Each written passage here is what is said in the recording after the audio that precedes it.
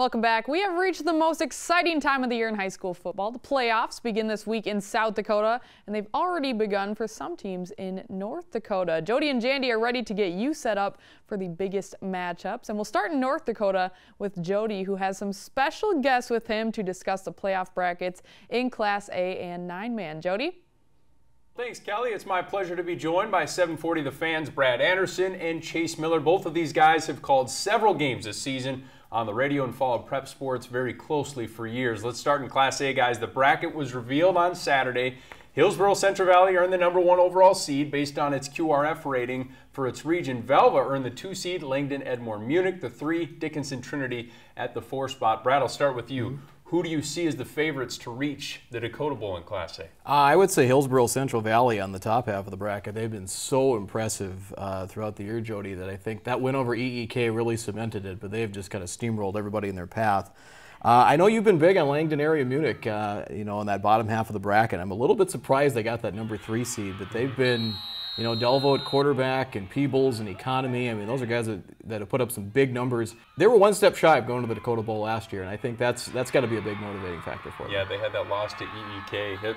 Chase, what do you think about Class A? It's hard not to go against, you know, Hillsboro Central Valley. Oscar Benson is a great outside linebacker who will take Skager's role in the next couple years for yeah. a running back position. And, and the thing that Hillsboro Central Valley does, their front seven defensively, they don't allow you to get to the second level. And offensively, I don't know if I've seen a better offensive line in Class A. So we'll see what they can do there. Don't overlook Velva. Their defense is stout. Maybe they play in a weaker region than maybe a Hillsboro Central Valley or EEK team, but the Aggies are definitely got a lot of tradition in high school football. Yeah, and they gave up 13 points last week, which matched their whole season total for defense. So Velva knows how to play defense, but I think you do mention the caliber of opponents. They weren't playing in a Region 1. They weren't doing it against those teams. Region 1 is pretty tough, so that's going to be interesting uh, to see. Let's make some game predictions.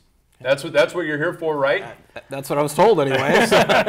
we'll do two in Class A, two in nine man. We start with Class A and a couple of pretty good matchups. Langdon Edmore Munich hosts last year's Class 2A runner-up Kindred. Brad, do the Vikings have a shot against the unbeaten Cardinals? Who are you picking? Chase made a real good point about how they played that gauntlet those yeah. first three games, and they won four out of five, and they're playing better. I just don't know if they've got the firepower to get against Langdon Edmore Munich. I think uh, I think Langdon wins it. Yeah, and I'm going to go with Langdon too. I think the Kindred Vikings, they need to do what they did. Um, you know, play early with the lead. Fargo Oak Grove played with the lead against Hillsboro Central Valley, and they couldn't have scripted any better. You go on the road, which is about a three-hour trip for Kindred to go up to Langdon. You're going to be playing on a Saturday afternoon. I think Langdon's going to win this game, but closer than the experts think. Well, you remember last year it was a miracle that Kindred made the, the, state championship game, the unbelievable finish, the Hail Mary against uh, Shanley to put them in. And that was Class 2A. Now they're down to Class A. But I agree with you guys. I, I just think it's going to be tough. Kindred mm-hmm. battle tested at the beginning of the year, but I think Langdon Edmore Munich uh, uh, wins this one. Another team from Region 2, Carrington. Uh, their only loss was to Langdon Edmore Munich, hosts Oak Grove. This one could be interesting, guys. Chase? Who are you picking? You know, if Ben Hogarth can get going, we'll look out. And the other mm-hmm. thing is Caleb Card's not going to be asked to throw the football 10 or 15 times in a football game. But if he can connect four or five times on play action, that'll really get the Grover offense going. My question is, how banged up are they going to be after playing Hillsboro Central Valley last game? They got a couple guys that are nicked up. I think Carrington wins this one, but this might be the best Class A game in terms of the first round. I think if you're going to Carrington, if you're going to watch a good football game, I think there's going to be a lot of ground and pound teams. Neither team likes to throw the football that much, but I think Carrington gets the win. Brad? I just think Carrington's a little bit deeper. You know, Oak Grove has kind of been, you know, Card's done a nice job mm-hmm. at quarterback, but it's really been as Hogarth goes, so go the Grovers. And I think Carrington kind of got through, you know, say they had the real challenging game against Langdon and they fell a little short. But I just think they're probably a little, a little bit deeper and – I think they win probably about a seven to ten point deficit. So. I'm going to say Oak Grove. Uh, someone has to be. The, someone has to flip this thing, right? Ben Hogarth has been playing well. They're a very physical team. They can beat you up front. They have some physical offensive linemen. I think they get the job done on the road. Let's talk some nine man. The big showdown that everyone will have their eyes on. Thompson Cavalier. Who wins it and why? I think Cavalier wins it. It's going to be close. I think it'll be very similar, probably a touchdown or less. I think home field's a big factor, and I think they can. Uh, I think they can maybe win the battle up front. I think they can be a little, you know, probably win the physicality battle, so to speak.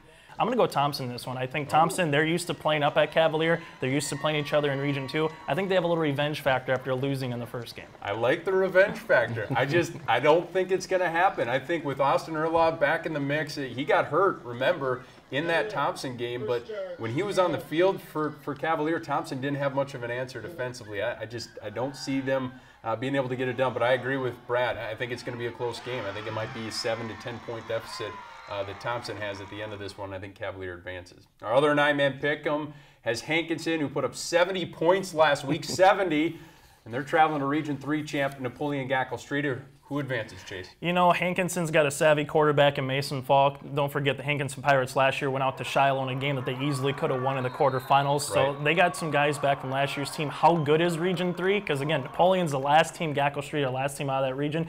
Brad and I were talking before this. It wouldn't shock us if Hankinson wins, but I think Hankinson just comes up a play or two short. I'm going to go Napoleon Gackle Streeter.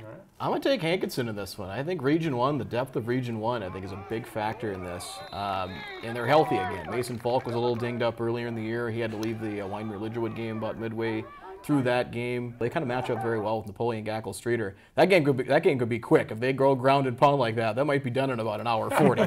That's a radio guy and TV guy's dream. Absolutely. I'm going to go with you. You just convinced me. I was kind of 50 50. Gosh, which one am I going to take? I think I'll go with Hankinson in the upset special over the Imperials. Well, thanks, guys. Appreciate the time and, and look forward to doing this uh, for the next couple of weeks until we reach the Dakota Bowl. You bet. Thank you much. Thanks, Jody. All right. Thanks, Kelly. And back to you. All right, good stuff. Thanks, guys. Coming up after the break, more special guests in studio, this time in South Dakota for high school pick'ems. You don't want to miss this. We'll be right back.